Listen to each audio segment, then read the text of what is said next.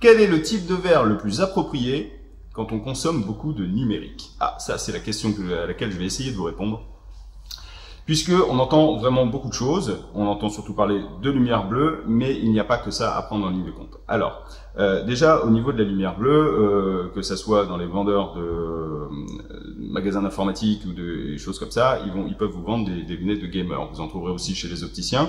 Ce sont des verres avec un filtre bleu.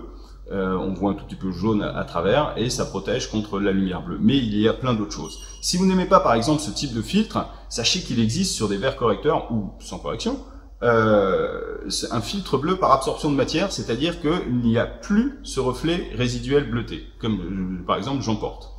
Mais surtout, on est dans une ère où on consomme énormément de numérique, que ce soit sur smartphone, sur euh, la télé, avec des définitions qui sont de plus en plus impressionnantes et agréables d'ailleurs. Mais vos verres ne sont pas conçus pour ça.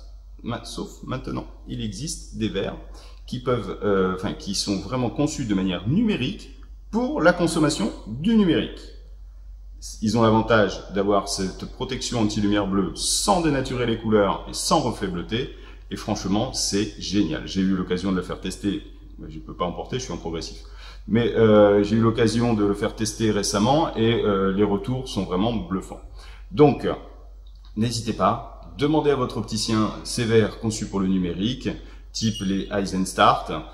Euh, de chez Essilor et euh, vous verrez franchement, franchement la différence. Eh bien écoutez, je vous souhaite une très bonne journée et je vous dis à très bientôt chez Atelier